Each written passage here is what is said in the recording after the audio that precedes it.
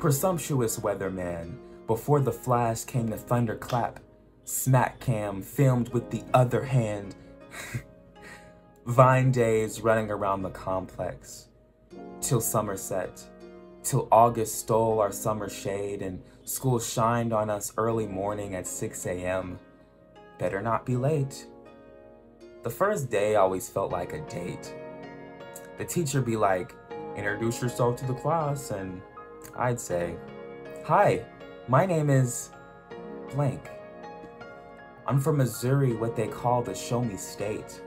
I'm at my best when I meditate, at my worst, I overcompensate. I'm actually not attracted to your love, I'd prefer it if you'd show me hate. I require space, the possibilities of me are endless. I cannot touch the floor.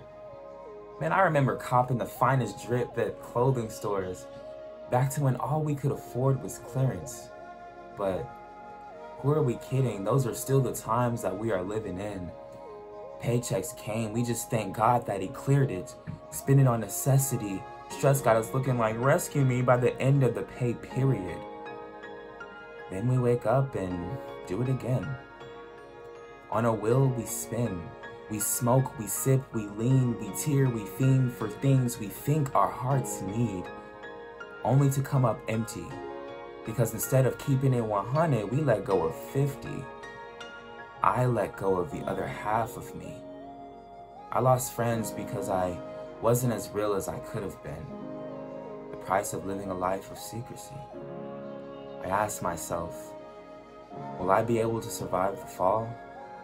and have the heart to survive next season, I let go of peace and disrupted my sleep.